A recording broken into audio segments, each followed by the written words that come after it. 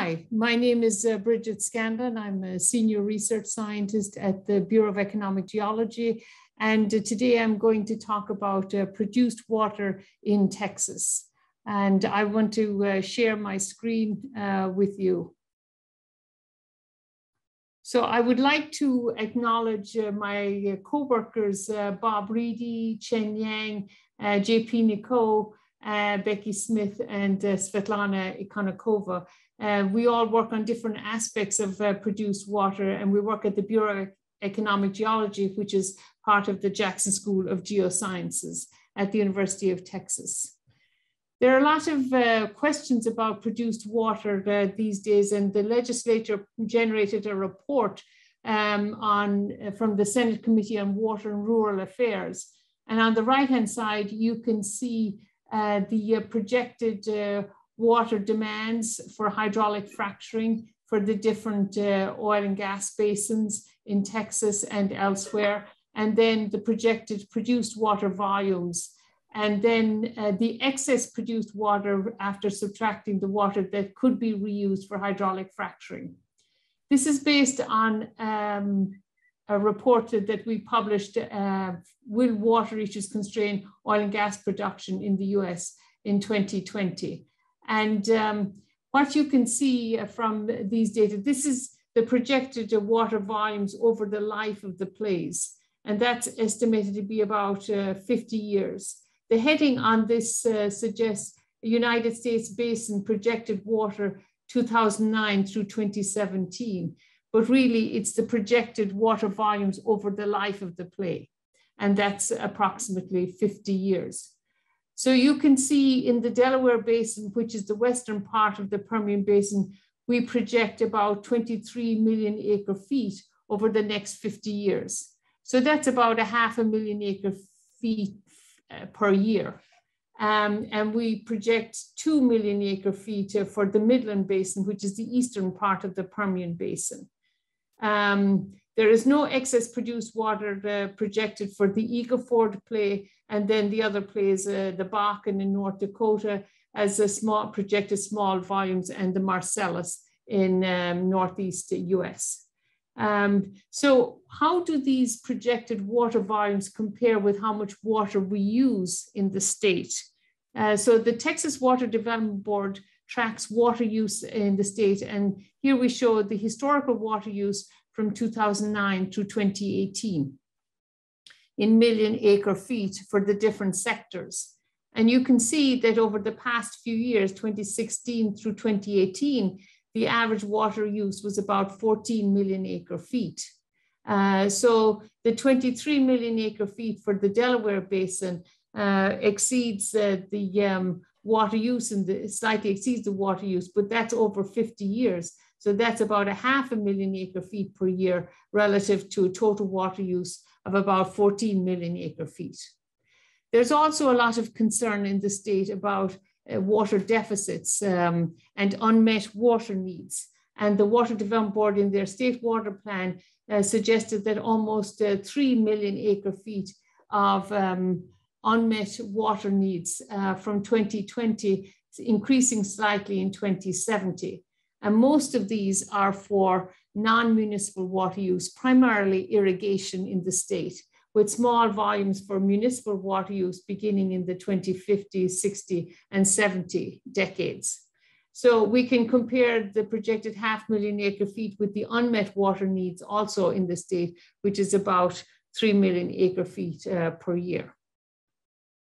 So uh, the other issue is that uh, with the, all of the produced water that's generated in the Permian Basin and uh, the current management strategy is primarily uh, disposal in the subsurface or reuse for hydraulic fracturing. So much of it is disposed through saltwater disposal wells. And we have, and the University of Texas Bureau of Economic Geology Center for Integrated Seismic Research and the TexNet uh, seismic network have been recording seismicity in the Permian Basin and other regions of the state for the past several years. And here I show a snapshot uh, for the, since 20, uh, December 31, 2021 through the present. And I'm only focusing on earthquakes of four, magnitude four and higher. And you can see uh, some magnitude uh, greater than four or, or, higher in the northeast part of the uh, Texas um, high plains, but also uh, in the Midland region uh, on New Year's Eve uh, in 2021, and also in this region in the Delaware Basin. Um, these mustard colored are also mostly fours. Um, so increased seismic activity that uh, can be related to hydraulic fracturing, injection water, and also saltwater disposal. And uh, this research group in at the Bureau is analyzing these data uh, intensively. So recently, the Texas Railroad Commission set a cap um, on this uh, subsurface uh, injection for disposal at 10,000 barrels per day west of the in the Midland and western part of the Midland region. And this is the first time that they have ever set a cap on subsurface disposal per well. So we conducted a study that was published in 2017 looking at uh, water issues uh, related to the transition from conventional oil production to unconventional oil production from shales. And um, here I show some of the results from this study. So uh, in, we were looking at data from 2005 through 2015. And each of these bubbles, uh, the green bubbles represent the oil production, the orange is the gas, and the gray is the produced water. And uh, then the red is enhanced oil recovery or uh, subsurface water, uh, saltwater disposal, uh, which is the management of produced water. So on the left-hand side, you can see the volumes for conventional wells. And you can see conventional wells um, produce a lot of water, 40 um, billion barrels over this 10 year time period. Uh, but most of that water goes back into the reservoir uh, to maintain pressure in the reservoir so that they can keep producing oil and gas. So 36.5 out of the 40 was estimated for enhanced oil recovery. And some of this water goes into saltwater disposal wells, into other units that are not reservoir units. In contrast, unconventional production in the Permian Basin uh, generated much lower volumes of produced water, about a tenth over this time period, because it was just getting going. And, and so the produced water to oil ratio is much lower in unconventional reservoirs. These are shale reservoirs. Uh, and here we can also show the volume of water that was used uh, for hydraulic fracturing. So because you cannot put it back into these low permeability, unconventional reservoirs, these shales, you have to dispose of it in other units. Um, and then it goes into saltwater disposal. Um, and then uh, disposing of it in other geologic units, either shallow or deep, can change the pressure in those units and can result in seismicity. Um, so that is the problem. So in the past, although we've produced oil and gas for over 100 years in the Permian Basin, um, uh, most of that water has gone back into the reservoirs uh, to uh, through enhanced oil recovery to support uh, keep maintain the pressures in the reservoir to continue production. But now with unconventional uh, development, we cannot put the produced water into the reservoirs and we have to put it into other units. And it is, is causing, uh, this is part of the reason we're seeing induced seismicity, which has increased in the region since 2010. So I'm going to try to address three basic questions in this presentation. Uh, how much water we use for hydraulic fracturing. Uh, and this is important because the produced water could be reused for hydraulic fracturing of future wells. And so I want to emphasize that aspect of uh, unconventional development. Then how much water we are producing with unconventional oil and gas development. And then optimal ways to manage uh, the produced water uh, in these unconventional reservoirs. So we use a variety of data types, geology, hydrology, reservoir data, and uh, well completion and production data. And we look at historical trends in fra hydraulic fracturing water demand and produced water volumes. We also uh, develop projections over the life of the play of hydraulic fracturing water demand and produced water volumes. And this is about, you know, 20 to 50 year time frame. And we look at the impacts of the water use on water scarcity in the regions, groundwater depletion, and also uh, some other groups look at induced seismicity. And we evaluate different approaches then to try to mitigate adverse environmental impacts uh, by reusing produced water for hydraulic fracturing, which is the lowest hanging fruit because we can use um, produced water with uh, clean brine with very little water treatment. We also considered the potential for beneficial use outside of the energy sector. So here I show a work that we published last year in Environmental Science and Technology, showing uh, the increase in hydraulic fracturing water demand in the Permian Basin. And uh, in 2017, it totaled about 50 billion gallons or um, almost 200 uh, billion liters. Um, so 20, uh, it represented about 20% of water use in other sectors in the Permian Basin.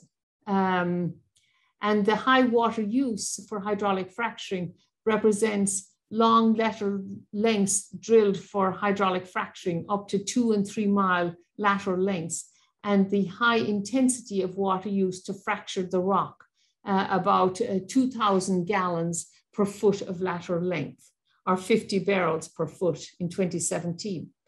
Um, so the total lateral lengths for unconventional oil and gas uh, development in the US totaled about four times the circumference of the Earth uh, to that point. So here we show the Eagle Ford with much lower water demand for hydraulic fracturing because uh, it's a different play and each play is slightly different. The Bakken has even lower water demand for hydraulic fracturing. And uh, then the gas plays are similar to the oil plays um, with the Barnett peaking in 2011 and decreasing, Haynesville and uh, Fayetteville. So these show the different plays in the US, but the Permian has the highest water demand for hydraulic fracturing of all the plays in the US in recent years. Um, so, um, so then we developed projections of water demand in the future over the life of the play and here we show the volumes for the different plays in billion gallons. Um, and you can see the Permian is divided into the Delaware Basin in the western part of the Permian Basin and the Midland Basin in the east. And we estimate that there will, we focus on only two of potentially 10 units that could be developed. And these are the Wolfcamp A and B, and assume that all potential wells would be drilled in those two units. So we feel like we're developing conservative estimates because we're ignoring many of the other units that could be uh, developed more in the future. So we estimate about 200,000 wells would be drilled in the Delaware Basin and about um, 100,000 wells, 110,000 wells in the Midland Basin. And uh, to support this, then we would need about almost uh, 3,000 billion gallons of water in the Delaware Basin and about 2,000 in the Midland Basin. Um, water demand in the other plays are lower, as we saw from the, the time series in the Bakken and the Eagle Ford and uh, the Marcellus. So where is the water coming to support hydraulic fracturing? We look at uh, the Texas uh, Department of Licensing and Regulation, and they indicate what the wells, where the wells are drilled and what they're used for. And so here we show in the Permian Basin, the water wells drilled to support hydraulic fracturing has uh, been increasing in recent years and has varied over time. But in uh, 2017, it uh, totaled about 1,500 uh, wells in that year, and more recently up to 2,000 wells. And we estimated that about thousand wells were drilled in the Ogallala aquifer in 2020. Um, in the other plays, then much lower numbers of wells were drilled to support hydraulic fracturing uh, in Texas. And um, the well drilling then and uh, extracting water from aquifers to support hydraulic fracturing um, is more important in the Delaware Basin than in the Midland Basin because the groundwater is connected to surface water. Uh, through springs uh, such as San Solomon Springs in Balmorhea and also discharging to the Pecos River. So excessive water depletion uh, in these regions could impact springs and surface water. And so we have to be cognizant of that also. And so some water could be uh, derived from produced water recycling. And we have report, we, however, we don't have any uh, specific reporting on how much of the hydraulic fracturing water demand is met by produced water reuse and recycling. So then we also uh, looked at historical uh, produced water volumes in the different uh, plays, um, and this is over the period 2009 through 2017. And so what you can see is that uh, the oil plays in the uh, Western US uh, generate much more produced water than the gas plays in the Eastern US. And Oklahoma uh, generated a lot of produced water. And some of this was uh, not necessarily from unconventional wells. I mean, some of their wells were generating up to 200 barrels of water per barrel of oil. Uh, in the Permian, then it uh, produces a lot of water also. It has produced a lot of water. So 180 billion gallons is approximately 0.5 million acre feet uh, when you consider over this um, uh, period, almost 10 years, relative to how much water we use in the state, which is about 14 million acre feet in the past um, few years. Uh, so uh, we have uh, generated a fair amount of uh, produced water um, in these oil plays. And as I said, most of it is managed through subsurface saltwater disposal. So here are projected water volumes, produced water volumes for the different plays. And as you can see, the Permian Basin um, pr uh, is projected to generate much more water than any other play in the US, uh, particularly the Delaware Basin, uh, with about 10,000 billion gallons uh, in the Delaware Basin and 2,600 in the Midland portion of the Permian Basin. Uh, so the projected to produce water 40 million, this corresponds to 40 million acre feet and is about three times the water use in the state, which is about 14 million acre feet. Um, so that's over the next 50 years. Um, and so then uh, we come to the question, how can we manage uh, water issues for unconventional reservoirs? So looking at the historical data and comparing produced water volumes to hydraulic fracturing water volumes, we can see uh, that uh, in many plays, in some plays, for example, the Eagle Ford, the hydraulic fracturing water demand exceeded the produced water volume. So they could reuse the produced water for hydraulic fracturing and use all of it. Um, but that uh, assumes that uh, you know you have spatial and temporal connection between produced water volumes and hydraulic fracturing water demand. In the Permian Basin, they are fairly similar. They're more similar in the Midland Basin, uh, the hydraulic fracturing water demand and the produced water volumes, but uh, it's about two times more produced water in the Delaware Basin than in uh, than the hydraulic fracturing water demand. You can see in Oklahoma, the produce much more water than they needed for hydraulic fracturing. So even if they reused the produced water for hydraulic fracturing, they wouldn't be able to manage it. And so they still had large excess produced water they would need to manage in other ways. So um, in the gas plays, you know, they could easily manage the produced water. A lot of people indicate that in the Marcellus, uh, they reuse most of the produced water, but you can see the volume of produced water is very small relative to the hydraulic fracturing water demand. So they can accommodate uh, that produced water fairly readily. So uh, we uh, published uh, this study comparing uh, the projected produced water volumes in hydraulic fra fraction water demand. And uh, we indicated that we could partially mitigate the water issues by sourcing, uh, by combining the, by reusing the produced water to support hydraulic fracturing. Um, uh, but even still, we have an excess of produced water, particularly in the Delaware Basin, which is almost uh, four times the water demand for hydraulic fracturing. So we have to figure out other ways of managing produced water in the Delaware Basin. Um, so we just talked about uh, these data. Um, so uh, the uh, in the first uh, second slide I showed the legislature report which looked at our numbers and uh, this is the 23 million acre feet of um, excess uh, water if you maximize reuse of produced water for hydraulic fracturing in the Delaware Basin. And that's over the next 50 years. And that's about a half a million acre foot a year and very little excess produced water in the Midland Basin uh, because the two are more matched. So the Delaware Basin is really uh, the key area then where we have excess produced water. Um,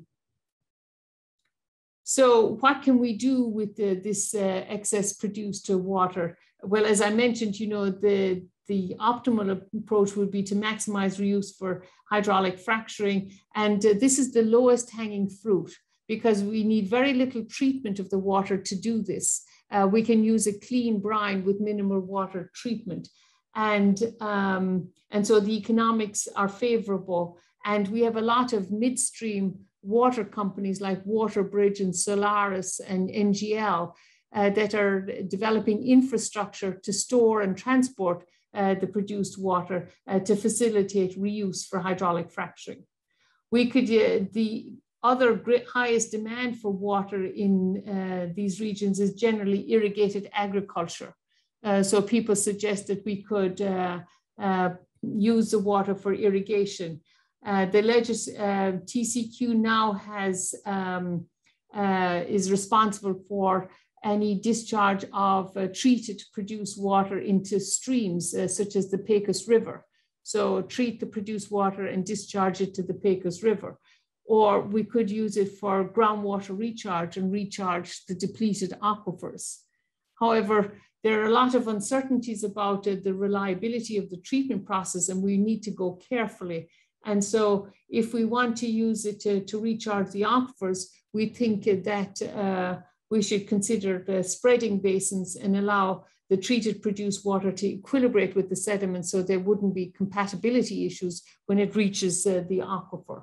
Um, so I'm just going to look a little bit at irrigation water use. And so here you can see in the Delaware Basin, irrigation water demand exceeds the produced water uh, volumes, and this is based on data for uh, 2015 and 2017, the most recent data that we have. So if we maximize reuse of produced water for hydraulic fraction, we'd have about uh, 20 billion gallons of produced water, and that could uh, um, accommodate or could account for about 10% of the irrigation water demand in the Delaware Basin.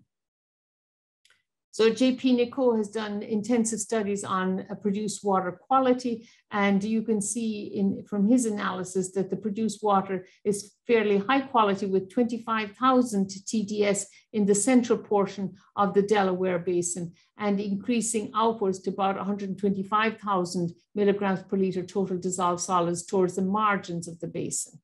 Uh, and so you could imagine that possibly you could treat the, uh, sorry, treat the produced water in the central parts of the, the basin with reverse osmosis, which would be uh, cheaper than thermal distillation.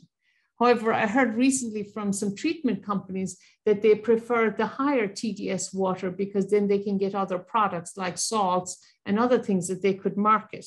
Um, so here I just show, uh, you know, different treatment processes that, that would be required for different beneficial use purposes and uh, emphasizing that very minimal treatment would be required to generate a clean brine that could be used for hydraulic fracturing.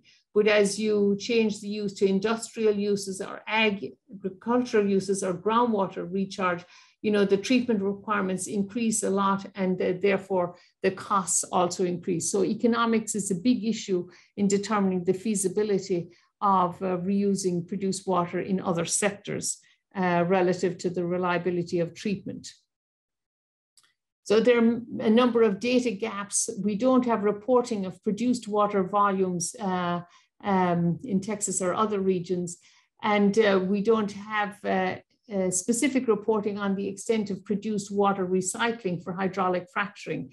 Uh, FracFocus is moving in this direction and hopefully the companies will start reporting how much of the produced water they are using to support hydraulic fracturing. In Texas, uh, uh, we have limited data on the, the uh, chemistry of produced water. Um, and then uh, Environmental Defense Fund has been doing in, a number of studies to evaluate uh, the produced water quality relative to treatment options and standards for a discharge uh, to rivers and streams and um, land application, irrigation, and others. Uh, so in, in Pennsylvania, they treat the produced water and discharge it into some of the streams, but the assimilative capacity is much higher because the stream flow greatly exceeds the discharge of produced water by up to 100 times or more. Whereas in the Pecos River, the, the discharge is very low. And so the assimilative capacity would be very low. Uh, so risk assessment and toxicity of treated produced water is extremely important in understanding uh, how safe it would be to use uh, treated produced water in other sectors. And we need uh, lab and field testing then to assess the uh, viability of aqua recharge of treated to produced water. Uh, the Texas uh, Produced Water Consortium is being led by Texas Tech University, and I think they will be looking into a lot of these issues in the near future. So to summarize, uh, in Texas, produced water, about 50% of produced water in the state is derived from conventional oil reservoirs and about 50% from unconventional reservoirs. And most of it has been managed in the past for enhanced oil recovery or saltwater disposal. Uh, the quality is variable, but we have limited information. And um, uh, produced water um, is um, is generally not uh, located in the same regions where we ha have identified water deficits in the state water plan. Induced seismicity is a concern and has been linked to both hydraulic fracturing and to saltwater disposal. And they may, this may restrict uh, oil and gas development in the future. Um, and I think the lowest hanging fruit in terms of management is to maximize reuse of produced water for hydraulic fracturing because we can use clean brines with minimal treatment and the economics should be favorable. Reusing pro treated produced water outside of oil and gas sector, for example, for discharge to the Pecos, uh, we need regulations uh, to manage this uh, through the uh, NPDES program. And uh, unlike in Pennsylvania and regions in the Northeast, we cannot rely on large uh, surface water discharges to dilute uh, the discharge of treated produced water. Uh, reuse in other sectors uh, will require intensive treatment and risk assessment on treated produced water uh, to determine optimal treatment approaches. I would like to acknowledge our funding agencies for this work, ExxonMobil, Shell, uh, the Mitchell Foundation and the Sloan Foundation, uh, Apache and IHS provided their database and also the Jackson Endowment. And I would be glad to answer any questions. If you have questions, feel free to email me uh, in the future. Thank you very much.